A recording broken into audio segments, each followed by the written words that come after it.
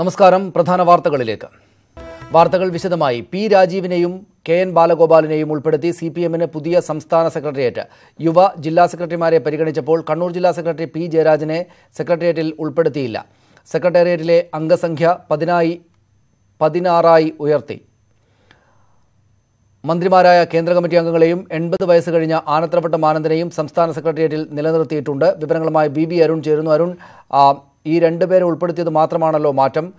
എന്തുകൊണ്ടാണ് പി ജയരാജന് ഇടം കിട്ടാതെ പോയത്?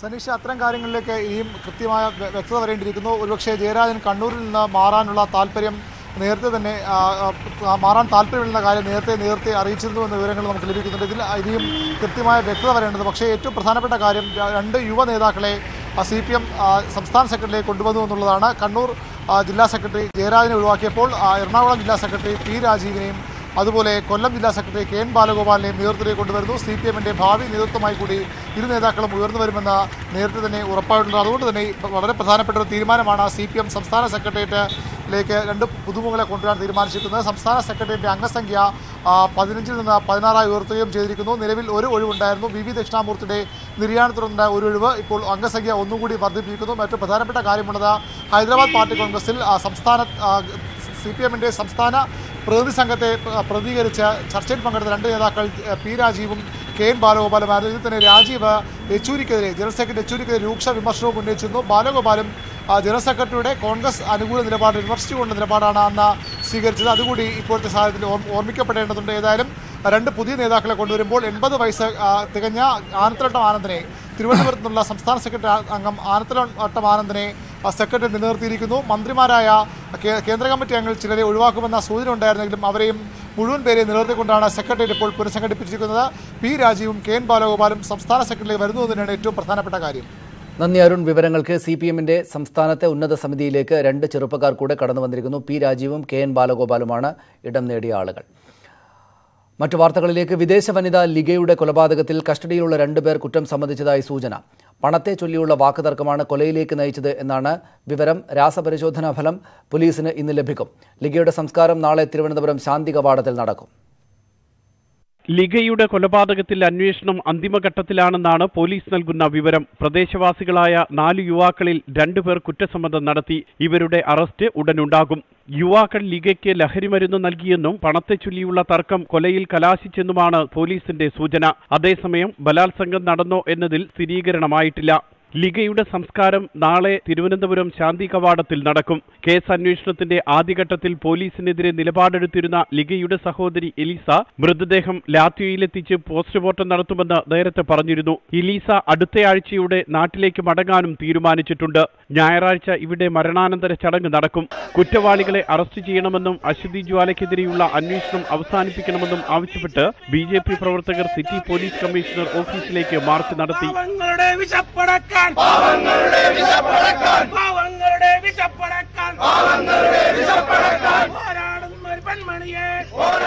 News eighteen Thiruvananthapuram. ജുഡീഷ്യറിയിലെ ഭിന്നതകൾക്കിടെ സുപ്രീം കോടതി കൊളീജിയത്തിന്റെ നിർണായക യോഗം ഇന്ന് വൈകിട്ട് ചേരും. ഉത്തരാഖണ്ഡ് ഹൈക്കോടതി ചീഫ് ജസ്റ്റിസ് കെ എം ജോസഫിനെ സുപ്രീം കോടതി ജഡ്ജിയായി നിയമിക്കണമെന്ന് വീണ്ടും ആവശ്യപ്പെട്ടേക്കും. ജസ്റ്റിസ് ചലമേശ്വർ അവധിയിലായതിനാൽ അദ്ദേഹത്തിന്റെ കോടതിയിൽ ഇന്ന് സിറ്റിംഗ് നടന്നില്ല. വൈകിട്ട് നാലേകാലിനാണ് ജുഡീഷ്യറിക്കും കേന്ദ്ര സർക്കാരിനും ഒരുപോലെ നിർണായകമായ സുപ്രീം കോടതി കൊളീജിയത്തിന്റെ യോഗം. ജസ്റ്റിസ് കെ എം ജോസഫിന്റെ നിയമന ശുപാർശ മടക്കിയ കേന്ദ്ര തീരുമാനത്തെ കൊളീജിയം ഒറ്റക്കെട്ടായി തള്ളുമോ എന്നാണ് നിയമവൃത്തങ്ങൾ ഉറ്റുനോക്കുന്നത് നിയമന ശുപാർശയിൽ കൊളീജിയം ഉറച്ചു നിൽക്കുമെന്ന് ജസ്റ്റിസ് കുര്യൻ ജോസഫ് കഴിഞ്ഞ ദിവസം വ്യക്തമാക്കിയിരുന്നു. അതേ അഭിപ്രായം തന്നെ ജസ്റ്റിസുമാരായ ജെ ചലമേശ്വർ രഞ്ജൻ ഗൊഗോയ് മദൻ ബി ലോക്കൂർ എന്നിവരും യോഗത്തിൽ കൈക്കൊണ്ടേക്കും. ചീഫ് ജസ്റ്റിസ് ദീപക് മിശ്രയുടെ നിലപാട് ഏറെ നിർണായകമാകും. സീനിയോറിറ്റി മറികടന്നും മേഖലാ പ്രാതിനിധ്യം സംബന്ധിച്ച കീഴ്വഴക്കങ്ങൾ പരിഗണിക്കാതെയുമാണ് ജസ്റ്റിസ് ജോസഫിനെ ശുപാർശ ചെയ്തതെന്നാണ് കേന്ദ്ര സർക്കാർ നിലപാട്. ഇക്കാര്യം ചൂണ്ടിക്കാട്ടി കേന്ദ്ര നിയമമന്ത്രി രവിശങ്കർ പ്രസാദ് ചീഫ് ജസ്റ്റിസിന് നൽകിയ കത്ത് കൊളീജിയം ചർച്ച ചെയ്യും. ജസ്റ്റിസ് ജോസഫിന്റെ നിയമനത്തെ എതിർത്ത് നിയമമന്ത്രി നൽകിയ കത്തിലെ വാദങ്ങൾക്ക് കേന്ദ്ര സർക്കാർ വാദങ്ങൾക്ക് കീഴ്വഴക്കങ്ങളും വസ്തുതകളും ചൂണ്ടിക്കാട്ടി കൊളീജിയം മറുപടി നൽകിയേക്കും. കൊളീജിയം ഒറ്റക്കെട്ടായി വീണ്ടും ശുപാർശ ചെയ്താൽ നിലവിലെ കോടതി വിധികളുടെ അടിസ്ഥാനത്തിൽ നിയമനത്തിന് കേന്ദ്ര സർക്കാരിന് അംഗീകാരം നൽകേണ്ടിവരും. ശുപാർശയിൽ കേന്ദ്രം വീണ്ടും തീരുമാനം നീട്ടിക്കൊണ്ടുപോകാനും സാധ്യതയുണ്ട്. M Unnikrishnan news eighteen Delhi. വരാപ്പുഴയിൽ police കസ്റ്റഡിയിൽ കൊല്ലപ്പെട്ട ശ്രീജിത്തിന്റെ കുടുംബത്തിന് സർക്കാർ സഹായം. കുടുംബത്തിന് പത്ത് ലക്ഷം രൂപയും ശ്രീജിത്തിന്റെ ഭാര്യ അഖിലേക്ക് സർക്കാർ ജോലിയും നൽകാൻ മന്ത്രിസഭായോഗം തീരുമാനിച്ചു. നഷ്ടപരിഹാര തുക പ്രതികളായ പോലീസ് ഉദ്യോഗസ്ഥരിൽ നിന്ന് ഈടാക്കും. സങ്കടത്തോടെയാണെങ്കിലും സർക്കാർ സഹായം സ്വീകരിക്കുന്നുവെന്നായിരുന്നു കുടുംബാംഗങ്ങളുടെ പ്രതികരണം. ശ്രീജിത്തിന്റെ മരണത്തിൽ പോലീസ് ഉദ്യോഗസ്ഥരുടെ പങ്ക് വ്യക്തമായതിന് പിന്നാലെയാണ് കുടുംബത്തിന് ധനസഹായം നൽകാനുള്ള സർക്കാർ തീരുമാനം. ശ്രീജിത്തിന്റെ കുടുംബത്തിന് പത്ത് ലക്ഷം രൂപ ധനസഹായം നൽകാനും ഭാര്യ അഖിലയ്ക്ക് ക്ലാസ് ത്രീ തസ്തികയിൽ സർക്കാർ ജോലി നൽകാനും മന്ത്രിസഭായോഗം തീരുമാനിച്ചു. മുഖ്യമന്ത്രിയുടെ ദുരിതാശ്വാസ നിധിയിൽ നിന്നാണ് ധനസഹായം അനുവദിക്കുക. ഈ തുക മരണത്തിന് ഉത്തരവാദികളായ പോലീസ് ഉദ്യോഗസ്ഥരിൽ നിന്ന് ഈടാക്കും. സർക്കാർ തീരുമാനത്തെ ശ്രീജിത്തിന്റെ കുടുംബം സ്വാഗതം ചെയ്തു. എന്നെയും എന്റെ കൊച്ചിനെയും ഞങ്ങളുടെ കുടുംബത്തിനെയും അനാഥമാക്കിയത് പോലീസുകാരാണ്. അപ്പോൾ സർക്കാർ ഈ ജോലി തന്നതിൽ ഒരു ആശ്വാസം അതിൽ ഉണ്ട് അത്രേ ഉള്ളൂ. അപ്പോൾ ആ ജോലി എന്തായാലും എനിക്ക് അർഹതപ്പെട്ട ജോലി തന്നെയാണ്. സർക്കാർ സഹായത്തിനപ്പുറം ശ്രീജിത്തിന്റെ കൊലപാതകത്തിലെ ഗൂഢാലോചന പുറത്തു കൊണ്ടുവരണമെന്നാണ് പ്രധാന ആവശ്യമെന്ന് അമ്മ ശ്യാമള. ഇപ്പോഴത്തെ അന്വേഷണത്തിൽ നമുക്ക് ഇത്രത്തോളം ഇപ്പം ഞങ്ങൾ പോയതിൽ തൃപ്തിയുണ്ട്. പക്ഷേ ഇനിയും ഇതിൽ അവനെ ദ്രോഹിച്ചവരുണ്ട്. അപ്പോൾ അവരെയും കൂടി പിടി പിടിക്കണമെന്നാണ് ഞങ്ങളുടെ ന്യൂസ് എയ്റ്റീൻ തിരുവനന്തപുരം കൊച്ചി. വരാപ്പുഴയിൽ സി ഐയും കുടുങ്ങും.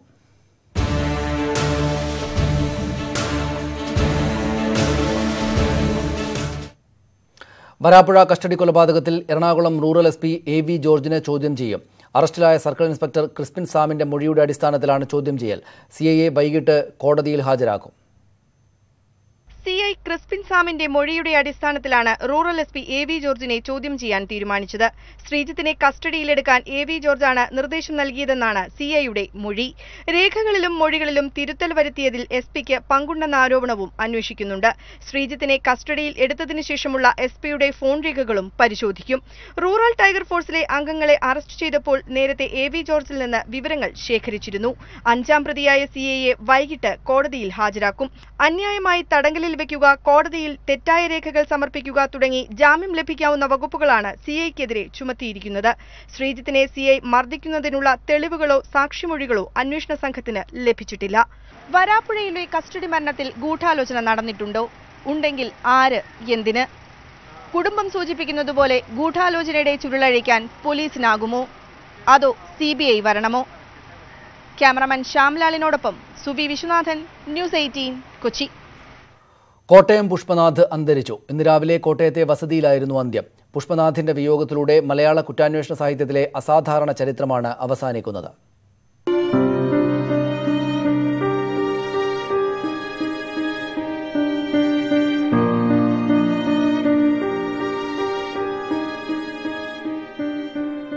ആ നോവലുകളിൽ വിദേശത്തെ കേസുകൾ അന്വേഷിച്ചത് ഡിറ്റക്റ്റീവ് മാർക്സിനായിരുന്നു. ഇന്ത്യക്കകത്തെ കേസുകൾ ഡിറ്റക്റ്റീവ് പുഷ്പരാജും. ചില അടിയന്തര സാഹചര്യങ്ങളിൽ രണ്ടുപേരും ഒരുമിച്ച് കേസ് അന്വേഷിച്ചു ഉദ്വേഗത്തിന്റെ മുൾമുനയിൽ മലയാളം നെഞ്ചുപൊട്ടിയ അപസർപ്പക സാഹിത്യ വായനാക്കാലമാണ് കോട്ടയം പുഷ്പനാഥ് സമ്മാനിച്ചത്.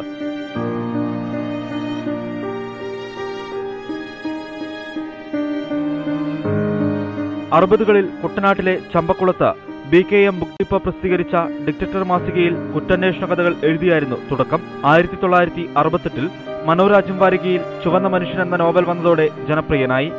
പിന്നീടുള്ള മൂന്ന് പതിറ്റാണ്ടുകൾ ആ സാഹിത്യ മേഖലയെ അടയ്ക്കുവാണോ പുഷ്പനാഥ്. മറവി രോഗത്തിനിടയിലും പഴയ എഴുത്തുകാലത്തിന്റെ ഓർമ്മകൾ പുഷ്പനാഥിനൊപ്പം ഉണ്ടായിരുന്നു. ആറുമാസം മുമ്പ് ന്യൂസ് എയ്റ്റീനോട് സംസാരിച്ചു.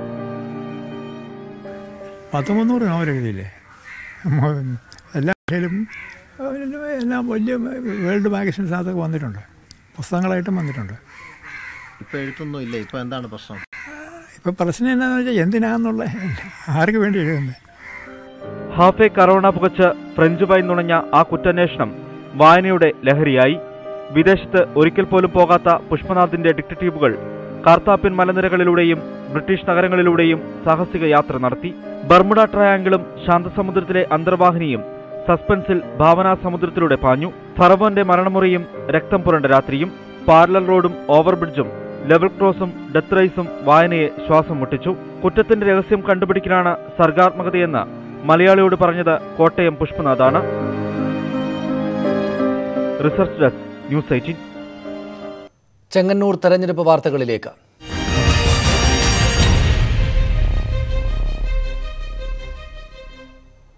ചെങ്ങന്നൂരിൽ യു ഡി എഫ് വിജയം ഉറപ്പെന്ന് കോൺഗ്രസ് പ്രവർത്തക സമിതി അംഗം എ കെ ആന്റണി. തെരഞ്ഞെടുപ്പിൽ മത്സരിക്കാൻ തീരുമാനിച്ചു കഴിഞ്ഞാൽ ഒരു വോട്ടിനോടും ഐത്തം പാടില്ല. മാണിയുടെ പിന്തുണയുടെ കാര്യം കേരളത്തിലെ നേതാക്കളാണ് തീരുമാനിക്കേണ്ടതെന്നും ആന്റണി കൊച്ചിയിൽ പറഞ്ഞു. ഇതെല്ലാ ഘടകങ്ങളും കൂടി നോക്കുമ്പോൾ ചെങ്ങന്നൂർ യു ഡി എഫിന് വളരെ അനുകൂലമായ ഒരു അന്തരീക്ഷമാണ്. അതൊക്കെ ഇവിടെയുള്ള നേതാക്കന്മാർ സംസാരിക്കണം. കേരളത്തിലുള്ള എന്റെ സഹപ്രത്തോട് ചോദിക്കണം. പിന്നെ ഇലക്ഷന് മത്സരിക്കാൻ തീരുമാനിച്ചു കഴിഞ്ഞാൽ ഒരു വോട്ടിനും ഐത്തം പാടില്ലെന്ന് എന്റെ അഭിപ്രായം. വോട്ടർമാരെന്ന നിലയിൽ കിട്ടാവുന്ന വോട്ടുകളെല്ലാം സഹകരിക്കാൻ ശ്രമിക്കും മറ്റ് രാഷ്ട്രീയമായിട്ടുള്ള മുന്നണി കാര്യങ്ങളാണെങ്കിൽ അത് തീരുമാനിക്കേണ്ടത് കേരളത്തിലെ യു ഡി എഫും കേരളത്തിലെ കോൺഗ്രസ് പാർട്ടിയുമാണ്. കേരള കോൺഗ്രസ് മാണി ഗ്രൂപ്പിന്റെ വോട്ട് നേടാനുള്ള നെട്ടോട്ടത്തിലാണ് ഇടത് വലത് മുന്നണികളും ബി ജെ പിയും.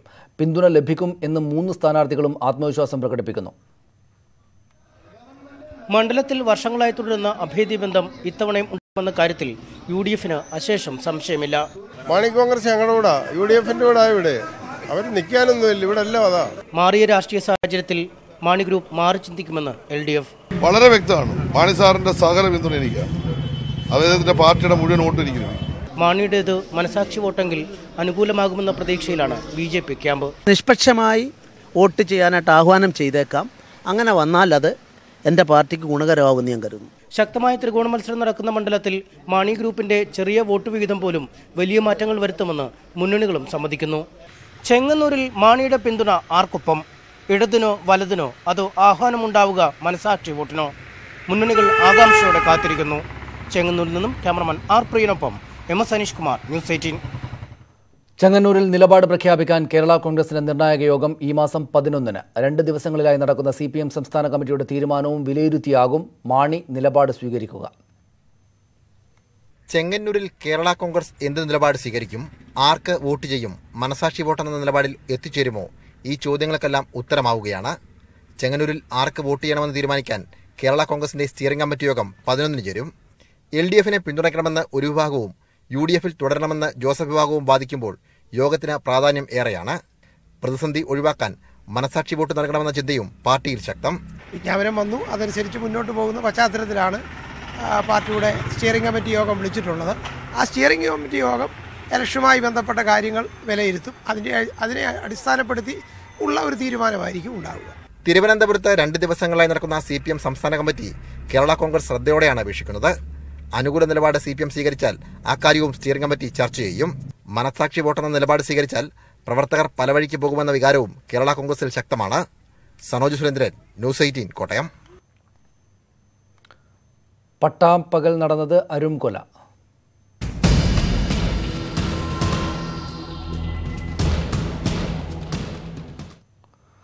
ജീത്തുവിന്റെ കൊലപാതകം ആസൂത്രിതമെന്നും ഇതിൽ സി പി എം കള്ളക്കളി തുടരുകയാണ് എന്നും കെ പി എം എസ് ആരോപണം. പഞ്ചായത്ത് മെമ്പർ ഉൾപ്പെടെയുള്ളവർ ചേർന്ന് മകളെ കുരുതി കൊടുക്കുകയായിരുന്നുവെന്ന് അച്ഛൻ ജനാർദ്ദനും ആരോപിച്ചു. കുടുംബത്തിന്റെ ഞെട്ടലിൽ നിന്നുണ്ടായ തോന്നലാണ് ആരോപണം ഉന്നയിക്കാൻ കാരണമെന്ന് പഞ്ചായത്ത് മെമ്പർ പറഞ്ഞു. ജിത്തുവിനെ കൊല്ലാൻ ഭർത്താവും കൂട്ടുകാരും കുടുംബശ്രീ പ്രവർത്തകർക്കൊപ്പം ചേർന്ന് പദ്ധതി ആസൂത്രണം ചെയ്തതെന്ന് അച്ഛനും മറ്റുള്ളവരും ആരോപിക്കുന്നു. ഓടിച്ചപ്പോ എന്റെ മകളുടെ നേരത്തേക്ക് പെട്ടുകൊടുക്കുന്നുണ്ട് ഞാനങ്ങനെ ഓടി മകളോടി ഓടി മകളെ ഞാനോടി ഇവനെ തള്ളിപ്പോ പിടിച്ചിട്ട് കിട്ടിയില്ല. ഇവൻ പോണ പോക്കൽ ഓടി പോണ പോക്കൽ ലേറ്റർ കത്തിച്ചു മുകളിൽ കത്തിയേക്ക് കയ്യിൽ സീർലാമ്പ് ഉണ്ടായിരുന്നു പെട്രോൾ ഉണ്ടായിരുന്നു ബാഗിൽ പലതുണ്ടായിരുന്നു അങ്ങനെ തീ കൊടുത്തു. എന്റെ ഒരു ഇത്രയും ഈ സ്ത്രീകളുണ്ടായിട്ടും പഞ്ചായത്ത് മെമ്പറുണ്ടായിട്ടും ഒരു സഹായം അരുത് എന്ന് പറയാൻ ഒരു മനസാക്ഷിയില്ലാത്ത വർഗമായി അത്തപ്പതിച്ചു ഈ ആളുകൾ പഞ്ചായത്ത് മെമ്പർ. അവരൊക്കെ നമ്മളെങ്ങനെ കണ്ടേ? ഏ? ഇതിലൊരു എന്നിട്ട് പറയാം മൃഗങ്ങളെക്കാട്ട് മോശമായിട്ടുള്ള ഒരു ഇതാണ് ആ പരിസരവാസികൾ വരെ ചെയ്തത്. ആരോപണങ്ങൾ പക്ഷേ പഞ്ചായത്ത് മെമ്പർ ഗീതാ സുകുമാരൻ നിഷേധിച്ചു. ഈ ബന്ധം തുടർന്നത് കൊണ്ടാണോ എന്ന് നമുക്കറിയില്ല. ഇപ്പം പറഞ്ഞു ഇവൻ ഇപ്പം ഇന്നലെ ഒരു കത്തൊക്കെ എഴുതി വെച്ചിട്ടാണ്. വിധമായ വിഷമം അവനും ഉണ്ടായിരുന്നു. ട്രീറ്റ്മെന്റിന് നമ്മൾ സമ്മതിക്കുന്നില്ല. അപ്പൊ അങ്ങനെയുള്ള വിഷമങ്ങളൊക്കെ ഇവനുണ്ട് എന്ന് പറഞ്ഞു. ന്യൂസ് എയ്റ്റി തൃശൂർ തൃശൂർ വെള്ളികുളങ്ങരയിൽ യുവതിയെ തീകൊളുത്തി കൊന്ന സംഭവത്തിൽ നാട്ടുകാർക്കെതിരായ ആരോപണം തള്ളി എസ് പി യതീഷ് ചന്ദ്ര. ജീത്തു എന്ന യുവതിയെ ഭർത്താവ് പരസ്യമായി തീകൊളുത്തി കൊന്ന സംഭവത്തിൽ നാട്ടുകാരെ കുറ്റപ്പെടുന്നത് ശരിയല്ല. പ്രതിയെ ഉടൻ പിടികൂടുമെന്നും യതീഷ് ചന്ദ്ര പറഞ്ഞു. നാട്ടുകാർ പ്രതിയെ രക്ഷപ്പെടുത്താൻ ശ്രമിച്ചുവെന്നും യുവതിയെ രക്ഷിച്ചില്ല എന്നും ആരോപണം ഉയർന്നിട്ടുണ്ട്. നമ്മളെ പോലീസിന്റെ മറ്റേ അന്വേഷണ പ്രകാരം അങ്ങനെ ആരും നാട്ടുകാർ ഇവനിക്ക് വേണ്ടി ഒരു ഒത്താശയായിട്ടോ ഇല്ലെങ്കിൽ ഒരു സപ്പോർട്ടീവ് ആയിട്ടോ ഇല്ല കുറ്റിക്ക് ഹെൽപ്പ് ചെയ്യാതെയോ അങ്ങനെ ഒരു നീട്ടില്ല എന്നാണ് നമ്മളെ ഒരു കിട്ടിയ റിപ്പോർട്ട് അങ്ങനെ ഒരു സമയത്തിൽ നിങ്ങൾ നാട്ടുകാരനെ കൂട്ടം പറഞ്ഞിട്ട് കാര്യമില്ല. പിന്നെ അവനെ പിടിക്കാൻ വേണ്ടി അവിടെ ശ്രമിച്ചു കിട്ടിയില്ല. ആ ഒരു സ്റ്റേറ്റ് ഓഫ് ഷോക്കലായിരുന്നു അല്ലാതെ ഞങ്ങളെ സൊസൈറ്റി ഒരു കുട്ടമാണ് ചിത്രീകരിക്കുന്നത് ശരിയല്ല കോഴിക്കോട് വടകരയിൽ സ്വകാര്യ ബസ്സിൽ നിന്ന് വീണ് ഗർഭിണിക്ക് പരിക്ക്. ഏഴുമാസം ഗർഭിണിയായ യുവതി ഇറങ്ങുന്നതിന് മുമ്പ് ബസ് മുന്നോട്ടെടുക്കുകയായിരുന്നു. റോഡിലേക്ക് തെറിച്ചു വീണാണ് യുവതിക്ക് പരിക്കേറ്റത്. കഴിഞ്ഞ ദിവസം രാത്രി എട്ട് മുപ്പതോടെയായിരുന്നു സംഭവം. കോഴിക്കോട് നിന്നും ഡോക്ടറെ കണ്ട വടകര ഇരിങ്ങലിലേക്ക് വരികയായിരുന്നു ദിവ്യയും ഭർത്താവ് ഷിജിനും. ഏഴു മാസം ഗർഭിണിയായ ദിവ്യ ഇറങ്ങുന്നതിന് മുൻപ് ബസ് മുന്നോട്ടെടുക്കുകയായിരുന്നുവെന്നാണ് പരാതി. ഇവർ റോഡിലേക്ക് തെറിച്ചു വീണു. ബസിന്റെ ഡോറിടിച്ച് കാൽമുട്ടിനും പരിക്കേറ്റു. അന്നേരം ഇരിങ്ങലിറങ്ങ ബസ് ബസ് അന്നേരം ഇറങ്ങാൻ നോക്കുമ്പോൾ മുന്നോട്ട് നിർത്തിയില്ല. സ്റ്റെപ്പും വന്നാൽ ഞാൻ താഴെ വീണു. ഞങ്ങൾ വിളിച്ച് നിർത്തി നിർത്തുന്ന പറഞ്ഞിട്ടും ബസ് നിർത്തിയില്ല. ബസ് മുന്നോട്ടേക്ക് പോയി. ദിവ്യ വീഴുന്നത് കണ്ടിട്ടും ബസ് നിർത്താതെ പോയതായും പരാതിയുണ്ട്. പരിക്കേറ്റ ദിവ്യയെ വടകര ജില്ലാ ആശുപത്രിയിൽ പ്രവേശിപ്പിച്ച് പ്രാഥമിക ചികിത്സ നൽകി. Kozhikode Kannur റൂട്ടിലോടുന്ന T D S F four എന്ന ബസ്സിനെതിരെയാണ് പരാതി. പയ്യോളി പോലീസിൽ പരാതി നൽകി. News eighteen Vadakara. വാർത്തകൾ തുടരുന്നു. പാർട്ടി ഏൽപ്പിച്ച ഉത്തരവാദിത്തങ്ങളും നിർദ്ദേശങ്ങളും ഭംഗിയായി നിറവേറ്റുമെന്ന് ജില്ലാ സെക്രട്ടറിമാരായ കെ എൻ ബാലഗോപാലും പി രാജീവും. എല്ലാ കാലങ്ങളിലും സി പി എം യുവാക്കളെ സ്വീകരിച്ചിട്ടുണ്ട് എന്നും പി രാജീവ് പറഞ്ഞു. സി പി എം സംസ്ഥാന സെക്രട്ടേറിയറ്റിലേക്ക് തെരഞ്ഞെടുത്ത ശേഷമായിരുന്നു ഇരുവരുടെയും പ്രതികരണം. കുറച്ചുകൂടെ പുതിയ തലമുറ അതിന് പാർട്ടിയുടെ തീരുമാനം വേറെ കാര്യമൊന്നുമില്ല അതിനകത്ത്. നല്ല ഉത്തരവാദിത്വമൊക്കെ ഏൽപ്പിച്ചാൽ അതനുസരിച്ച് ചെയ്യും. ജില്ലാ സെക്രട്ടറി സ്ഥാനം സ്വാഭാവികമായിട്ടും അതൊക്കെ പിന്നെ വരുന്നതല്ലേ. പാർട്ടി പ്രവർത്തനത്തിന്റെ ഭാഗമായി പാർട്ടി ഏൽപ്പിക്കുന്ന ഓരോ ഉത്തരവാദിത്തങ്ങളും ചുമതലകളുമാണ്. അത് പരമാവധി പാർട്ടി നിർദ്ദേശിക്കുന്നതനുസരിച്ച് നിർവഹിക്കാനായിരിക്കും ശ്രമിക്കുക. എല്ലാ കാലത്തും നമ്മൾ ആപേക്ഷികമായി നോക്കുമ്പോൾ യുവാക്കളുടെ പാർട്ടി എല്ലാ കാലത്തും സ്വീകരിച്ചിട്ടുണ്ട്. വഖഫ് ട്രൈബ്യൂണൽ തർക്കം സുന്നി ഐക്യ ചർച്ചകളെ ബാധിക്കില്ലെന്ന് കാന്തപുരം എ പി അബൂബക്കർ മുസല്യാർ. സ്വാധീനത്തിന് വഴങ്ങി സർക്കാർ തീരുമാനമെടുക്കുമെന്ന് കരുതുന്നില്ല. സുന്നി ഐക്യ ചർച്ചകൾ നല്ല രീതിയിൽ പുരോഗമിക്കുകയാണെന്നും കാന്തപുരം പറഞ്ഞു. ഇന്ധന വിലവർദ്ധനയ്ക്കെതിരെ യു ഡി എഫിന്റെ കാളവണ്ടി യാത്ര. പ്രതിപക്ഷ നേതാവ് രമേശ് ചെന്നിത്തലയുടെ നേതൃത്വത്തിലാണ് രാജ്ഭവനിലേക്ക് കാളവണ്ടിയിൽ യാത്ര ചെയ്ത് പ്രതിഷേധിച്ചത്. ജനങ്ങളെ കൊള്ളയടിക്കുന്നതിൽ കേന്ദ്രവും സംസ്ഥാനവും ഒരേ പാതയിലാണെന്ന് നേതാക്കൾ വിമർശിച്ചു.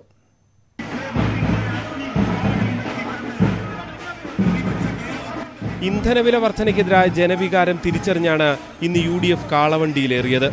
കാളവണ്ടിക്ക് പിന്നാലെ സൈക്കിളുകളിലും കാൽനടയായും നേതാക്കളും പ്രവർത്തകരും പ്രതിഷേധിച്ച് അനുഗമിച്ചു. നിങ്ങൾ അധികാരത്തിൽ വന്നതിന്റെ ഫലം ഇതാണോ? നിത്യോപയോഗ സാധനങ്ങൾക്ക് വില കൂടുന്നു. സ്കൂട്ടറിൽ സഞ്ചരിക്കുന്നവന് സ്കൂട്ടറിൽ സഞ്ചരിക്കാൻ കഴിയുന്നില്ല. മുതിർന്ന നേതാക്കൾ പ്രതിഷേധത്തിന് നേതൃത്വം നൽകി. കൂടുതൽ ശക്തമായ സമരങ്ങളിലേക്ക് മുന്നണി കടക്കുമെന്ന പ്രഖ്യാപനം നടത്തിയാണ് രാജ്ഭവൻ മാർച്ച് സമാപിച്ചത്. പ്രധാനമന്ത്രിയും കേരളത്തിലെ മുഖ്യമന്ത്രിയും പെട്രോൾ ഡീസൽ നികുതിയുടെ പേരിൽ ജനങ്ങളെ കൊള്ളയടിക്കുക ന്യൂസ് എയ്റ്റീൻ തിരുവനന്തപുരം. കൊടും ചൂടാണെങ്കിലും രാജസ്ഥാനിലെ ജോധ്പൂരിലെ സഫാരി പാർക്കിലെ മൃഗങ്ങൾക്ക് അല്പം ആശ്വാസമുണ്ട്. മൂന്ന് നേരമാണ് കുളി. ഒപ്പം കൂട്ടിൽ കൂളറുകളും സ്ഥാപിച്ചിട്ടുണ്ട്.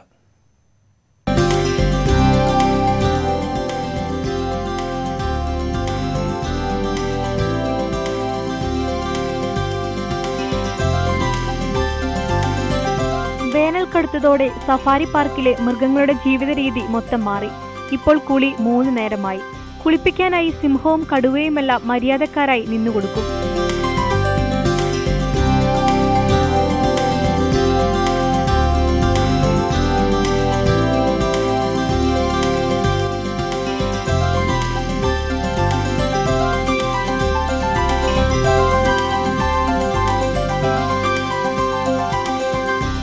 മൃഗങ്ങളുടെ കൂടുകൾ തണുപ്പിക്കാനായി കൂളറുകളും സ്ഥാപിച്ചിട്ടുണ്ട്.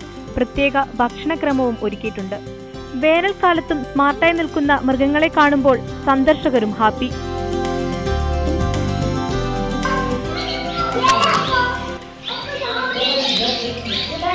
हम माचिया पार्क यहाँ पे घूमने के लिए आए हैं यहाँ पे हमने खूब सारे एनिमल्स देखे हैं यहाँ पे इतनी गर्मी होने के बावजूद यहाँ पे देखने में बहुत अच्छा लगा है यहाँ पे एनिमल्स सबकी अच्छी तराई वगैरह हो रही है यहाँ पे सब कुछ और बहुत अच्छा लगा है और यहाँ पे हमने सारे जानवर और इनकी सारी व्यवस्था देखी यहाँ पे खूब सारे जानवर हैं जिनकी इनकी खूब देखभाल की गई है जैसा कि आप देख सकते हैं यहाँ पे शेर के लिए पानी की तराई और पूरा इसी गर्मी के लिए പാർക്കിനുള്ളിലെ പക്ഷി നിരീക്ഷണ കേന്ദ്രത്തിലെ പക്ഷികൾക്കും ഇതേ പരിചരണമാണ് ഒരുക്കുന്നത് news desk news eighteen WhatsApp സഹസ്ഥാപകൻ Jan കൂമിന്റെ രാജിയിൽ ആശങ്ക പങ്കുവച്ച് സാമൂഹ്യ മാധ്യമങ്ങൾ വാട്സാപ്പിലെ സുരക്ഷാ വീഴ്ചയിൽ പ്രതിഷേധിച്ചാണ് രാജിയെന്നാണ് വിവരം സുക്കർബർഗുമായി അഭിപ്രായ വ്യത്യാസത്തിലായിരുന്ന കും കഴിഞ്ഞ ദിവസമാണ് രാജിക്കാര്യം ഫേസ്ബുക്കിലൂടെ അറിയിച്ചത്.